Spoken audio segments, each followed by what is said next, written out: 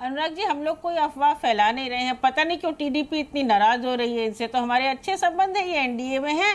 उनके साथ सरकार बना रहे हैं जनता का ये मैंडेट है। हम तो अपनी ऐतिहासिक विजय, जो उत्तर प्रदेश में हुई उससे समाजवादी पार्टी और इंडिया गठबंधन बहुत खुश है। हमने मुद्दे उठाए। मुद्दे जो उत्तर प्रदेश से संबंधित थे जिससे भारतीय जनता पार्टी की प्रचंड हार हुई।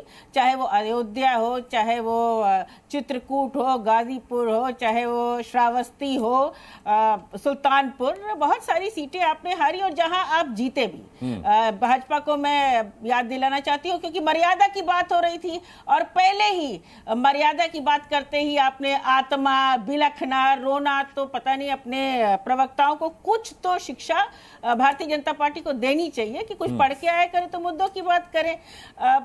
हमने एक सकारात्मक विपक्ष की भूमिका हमेशा निभाई है। जहाँ तक स्पीकर डिप्टी स्पीकर की बात है जी।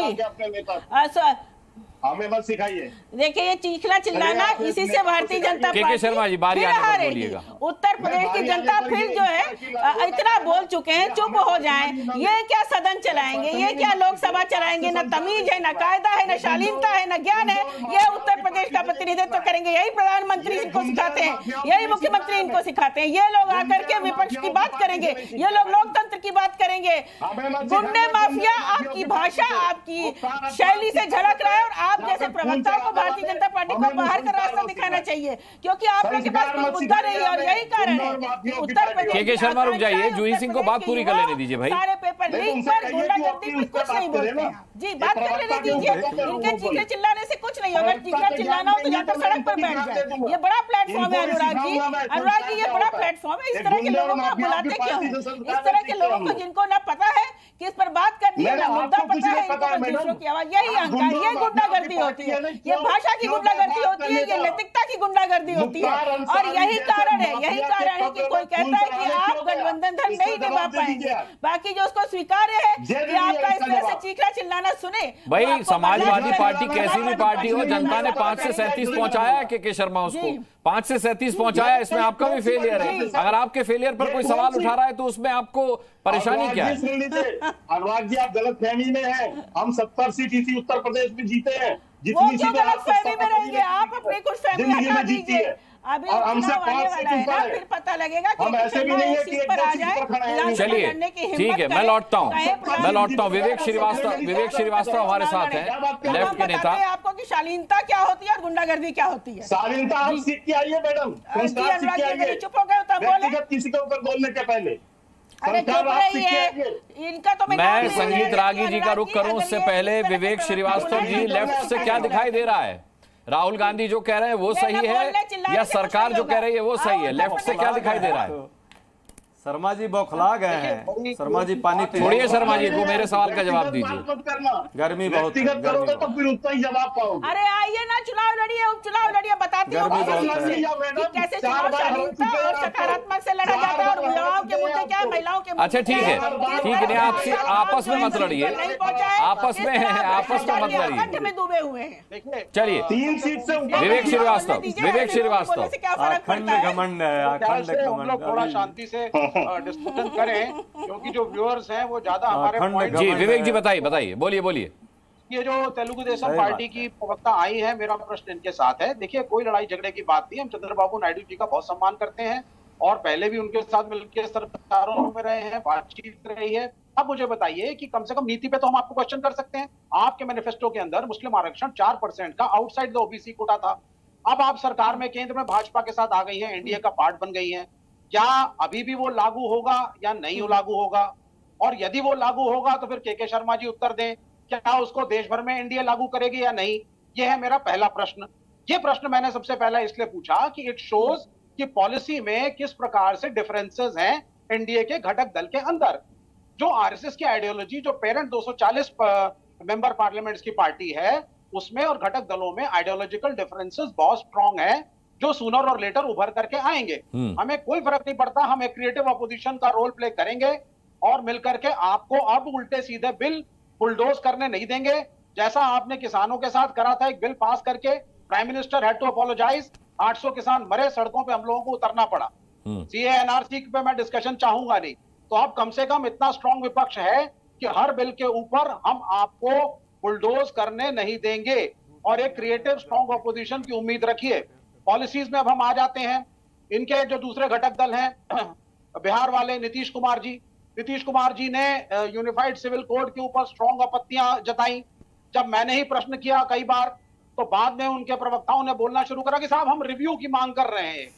लेकिन अभी तो ड्राफ्ट ही नहीं आया प्रॉपरली बीजेपी की तरफ़ से। तो आप किस चीज़ का रिव्यू मांग रहे हैं? ये मेरी समझ के बाहर है। हम्म, अग्निवीर के ऊपर क्या स्टैंड है पार्टी का जो इनके घटक दल की है हम्म। क्या चार साल के अग्निवीर से ये लोग सेटिस्फाइड है या नहीं? हम्म, और अगर नहीं है तो क्या अग्निवीर स्क्रैप होगा? या मॉडिफाई होगा? ठीक है। तो ये पॉलिटिकल क्वेश्चंस हैं जिनके ऊपर डिस्कशन ज़रूरी है। रादर देना शाउटिंग मैच और मैं चाहूँगा पहले मेरी टीडीपी की प्रवक्ता मुस्लिम आरक्षण पे उत्तर दें और फिर के के शर्मा बाकियों पे बताएँ। अरे भाई संगीत रागी जी की भी बारी आ जाने दीजिए। चलिए संक्षिप्त रखिएगा ज्योत्सना जी। बिल्कुल बिल्कुल। मैं एक ही चीज़ बता रही थी, जैसे कि आइडियोलॉजिकल सर आपके मुस्लिम आरक्षण के बारे में मैं बोलूँगी, मगर आप एक एक स्टेटमेंट पास करें सर आइडियोलॉजिकल डिफरेंसेस बोले। सर ये पहली बार नहीं है जो हम एनडीए में है, ये पहली बार नहीं है हम जो बीजेपी से है, ये तीसरी बार है। तीनों बार भी मतलब ये पहले के दो बार भी, कभी भी मुस्लिम्स को हमारे जब हम हम एनडीए में रहने के बावजूद भी हमने उनके इंटरेस्ट को, उनके राइट्स को कहीं पे भी कुछ भी कमी आने नहीं दिया।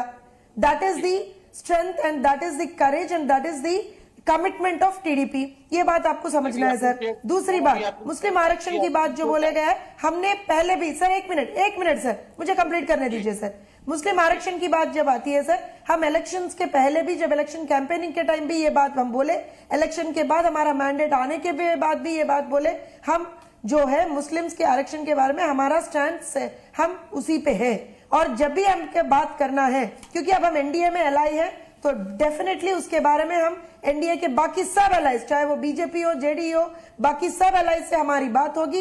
एक सलाह सलाह मशुरा तो करेंगे ही करेंगे, सर। उसको कुछ हम बाजू में नहीं रख रहे, सर। ये बात मैं आपको साफ़ सीधी बात बता देती हूँ। और अगेन आई रिटरेट है। आइडियोलॉजिकल डिफरेंसेस हाँ कुछ कुछ चीज़ों पे सर इश्यू बेस्ड डिफरेंसेस बोलते हैं सर उसको। आइडियोलॉजिकल डिफरेंसेस नहीं बोलते। इश्यू बेस्ड डिफरेंसेस मुद्दे को मुद्दों के ऊपर हम उनसे कई एक आध मुद्दे ऐसे हैं जहाँ पे थोड़ा बहुत डिफरेंसेस आते हैं सर मगर इसका मतलब ये नहीं है कि सरकार चलाने में कुछ प्रॉब्लम आ जाएगा। होगा। हाँ? सर पिछले दो बार हम एनडीए में थे। कभी भी कोई प्रॉब्लम नहीं आया। हम ही हम ही थे जो मुस्लिम्स के मुस्लिम्स के लिए हज हाउस हम ही ने ये किया था। सब हम ही ने किया सर। मुस्लिम्स को हम तब तब भी हम ही देखे सर आंध्र प्रदेश में। सो ये बात आप जरा जान लीजिए। अब आप लागू करेंगे या नहीं? हाँ या ना तो बता दीजिए आंध्र प्रदेश में।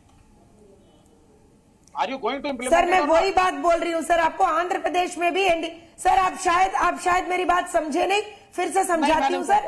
आंध्र प्रदेश में भी एनडीए की सरकार है। नहीं नहीं सुनिए सुनिए समझाती हूँ सर। सर सुन लीजिए। सुन लीजिए सर। सुन लीजिए थोड़ा थोड़ा थोड़ा सुन लीजिए। मैं क्या बोल रही हूँ? आंध्र प्रदेश में भी एनडीए की सरकार है। एनडीए में हमारे एलाइज है जनसेना है और भारतीय जनता पार्टी है। उनसे सलाह मशुरा करेंगे। बिल्कुल हम उस पे we are very committed on that point so we will get back to you on that हम हम कोई पीछे नहीं हट रहे सर। सर हम पीछे नहीं हट रहे। ये बात आप जान लीजिए। ये बात आप जान लीजिए। हम पीछे नहीं हट रहे अगर कुछ भी मुद्दे में मुद्दों के ऊपर कुछ डिफरेंसेस है हम उनको ठीक है। बिल्कुल सलाह कर लेंगे सर आप चिंता न करें ठीक है, संगीत रागी को भी डिबेट में लाते हैं। हमारा सभी को बहुत देर से सुन रहे हैं। एक एक हामी है हम ये पूरा डॉक्टर करेंगे संगीत रागी अब तक की डिबेट से आप ये समझ गए होंगे कि विपक्ष का जो कॉन्फिडेंस है वो इस बात को लेकर के है कि अगर इश्यू बेस्ड डिफरेंसेस होते हैं अलायंस के अंदर एनडीए के अंदर या फिर आइडियोलॉजी को लेकर के डिफरेंसेस होते हैं तो इसका फ़ायदा शायद हो सकता है अ, इंडिया गठबंधन को जो कि वो अभी दावा नहीं कर रहे। वो ये नहीं कह रहे कि हम सरकार बनाने के लिए ऐसा कह रहे वो ये कह रहे कि हम तो ये कह रहे हैं कि इस बार मैंडेट नहीं है। नरेंद्र मोदी जी के पास जनता ने उतना भरोसा नहीं जताया और एलाइज भी खुश नहीं है। आ, पहली बात एक पुरानी कहावत है गाँव की किसी के श्रापने से गाय नहीं मारा करती है। तो इनके श्राप देने से और इनके आ, आकाश की तरफ़ टकटकी लगाने से कोई फ़र्क नहीं पड़ने वाला है। ये पूरी सरकार चलेगी। मैं इसलिए कह रहा हूँ कि कोलिशन का गणित ऐसा है। यदि भारतीय जनता पार्टी आज के दिन में 180 185 के आसपास होती तो वो ज़्यादा फ्रेजाइल होती। लेकिन चूँकि भारतीय जनता पार्टी आज 140 के आसपास है तो इसलिए मुझे नहीं लगता है कि इसमें बहुत ज़्यादा अंतर बना। दूसरी बात, इसलिए जो कुछ भी विपक्ष चला रहा है, वो वाकई हवा में तीर चला रहा है और सरकार तो बिल्कुल ही एज पर नहीं है। तीसरी बात, एक सवाल उठाया गया सहनसाह सहनसाह वो होता है जो परिवार बैरम खां के नेतृत्व में पला बढ़ा होता है। तो खड़गे जी के और मनमोहन सिंह के नेतृत्व में पढ़े बड़े बैरम खां दो दो बैरम खां के नेतृत्व में पले बड़े राहुल गांधी जी हैं। और सहनशाह उसको कहते हैं कि वो चाहे वो कैबिनेट का हिस्सा हो या नहीं हो कैबिनेट का नोट फाड़ने की ताकत रखते हैं और सबके सरेआम।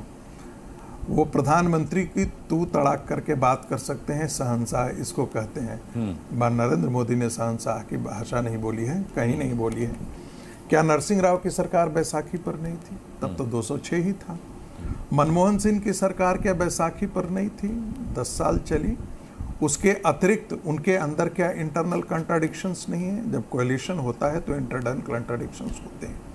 मैं कह सकता हूँ कि जो वर्तमान सरकार है उसमें इंटरनल कॉन्ट्राडिक्शन कम है। हम्म। कम से कम वामपंथी और कांग्रेस पार्टी दोनों मिलकर आप संगीत रा, रागी ये कह रहे हैं कॉन्ट्राडिक्शन कम है लेकिन राहुल गांधी कह रहे हैं कि सहयोगी उनके संपर्क